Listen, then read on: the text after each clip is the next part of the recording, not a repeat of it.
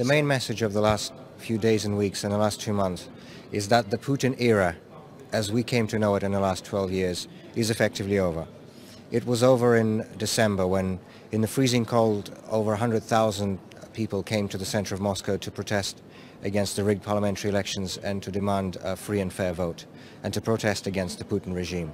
Uh, and there was a time in the early and mid-2000s when uh, Mr. Putin could do absolutely anything he pleased. Uh, he could ride roughshod over society, over the country, uh, and do so with complete impunity. He could shut down independent television, he could jail his opponents, he could rig elections and ban opposition parties, and expect nothing but silence and apathy in return.